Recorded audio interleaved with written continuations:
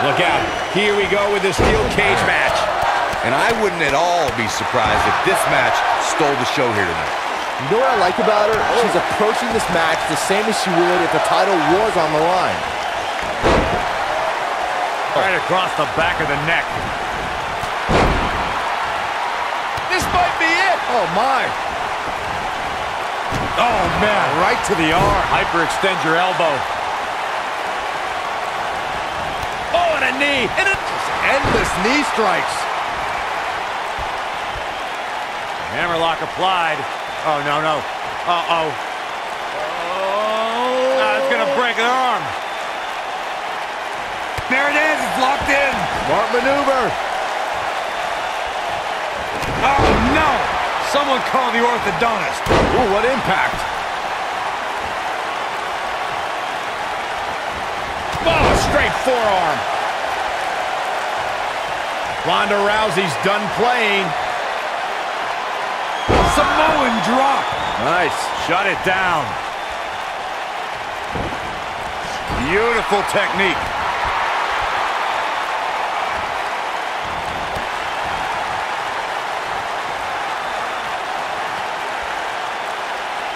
Ronda Rousey is, of course, one of the most famous athletes in the world. More so, she's one of the most famous stars in the world. And she got that way by beating people up and taking their arm.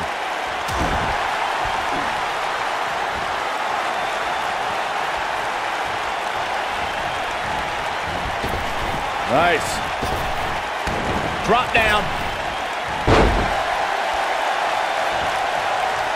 Adding to what Michael said about Ronda being a huge star, when she entered the WWE, that bright light and media attention that follows her really brought a spotlight to the women's evolution and its superstars. Yeah, you'll get a lot of publicity, a lot of notoriety from stepping into Ronda's spotlight. But touching fists, that's different. It's always fun to go to the zoo until you fall into the lion's den. Rousey, I don't see Paige coming back from that one. She's looking good now, guys. Take a look at this. Ronda Rousey's done playing.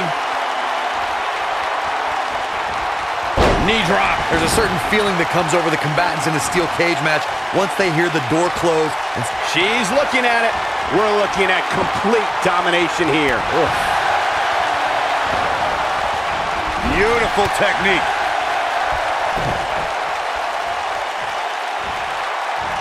Oh, what a German suplex.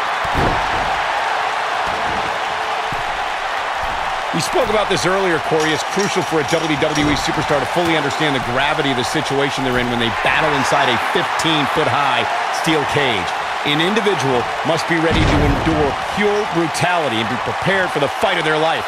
No one leaves a steel cage match without scars. Corey, you said something of value for once, and that anything is legal inside the steel cage. To that point, something else we've seen over the years is interference. Whether it's The Undertaker coming up through the ring or John Cena getting bashed in the head with the cage door from the... Here she comes on the counter. We'll see if she can turn things around. according to historians, the twisted metal that we see as part of steel cages today dates back 80 Oh, here comes Paige Turner. And she looked like she had no chance just a few moments. She goes for the cover. Two. No, a kick out. She saw the opening and got the shoulder up. When she gets in attack mode, look out. Corey, you gave us an impressive history of the origins of the steel cage match. I'd like to point out to our viewers that from the 1960s through the mid-1980s, chain link fences were used to... Going for broke. And here we go. Oh, look into the armbar. He's got it locked in. Time to tap. This one is over.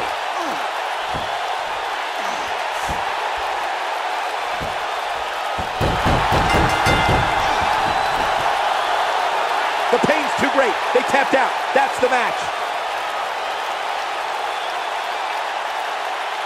When you introduce the enclosure, everything is possible. What a match this was. Overall, this match was average at best. But not every match is going to be memorable.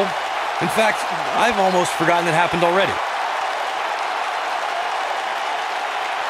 She proves she has what it takes to be one of the best in the business.